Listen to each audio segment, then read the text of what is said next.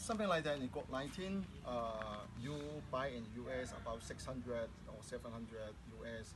I'm not sure yet.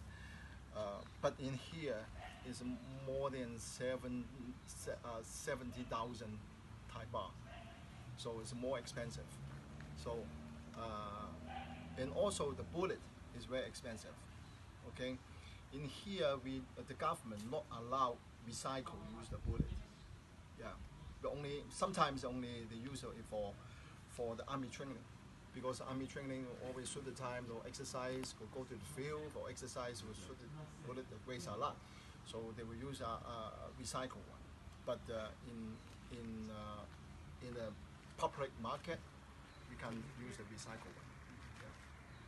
What is um what's the what are what are some of the difficulties of running a shooting range and being a gun owner in Thailand?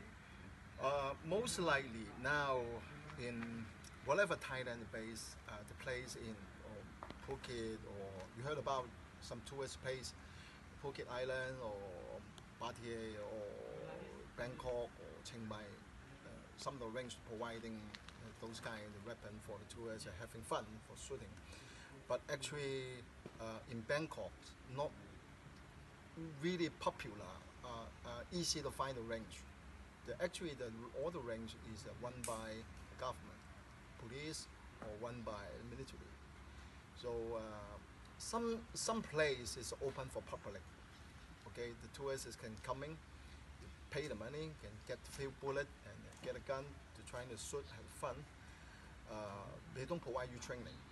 Okay, you just really just a tool for business. Okay, and earn some you know money, extra money. That's it.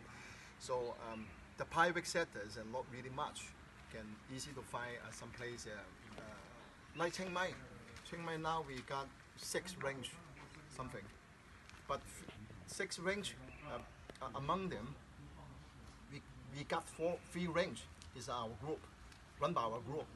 And three three range one is for by the government. One uh, is by the army.